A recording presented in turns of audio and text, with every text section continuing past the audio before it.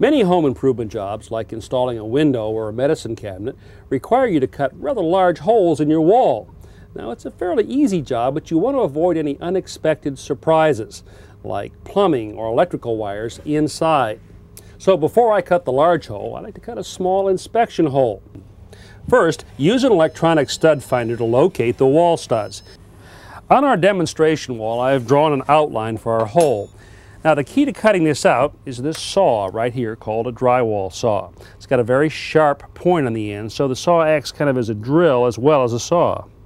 Place the sharp tip of the saw on the line and then angle the saw at about 45 degrees. Push the saw, wiggle it back and forth until it penetrates through the wallboard.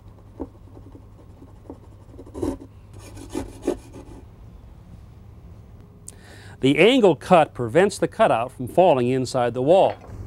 If your inspection reveals a problem and you have to close up the hole, it's easy to do. Apply wallboard joint compound to the edges of the hole. Then press the cutout firmly in place. With a wider putty knife, smooth more joint compound on the surface. Now, we let this dry overnight, give it a light sanding, and skim on one more coat. You know, this is a great technique to use anytime you've got to cut a temporary hole in your wall, even if it's to find a plumbing leak or run electrical wires.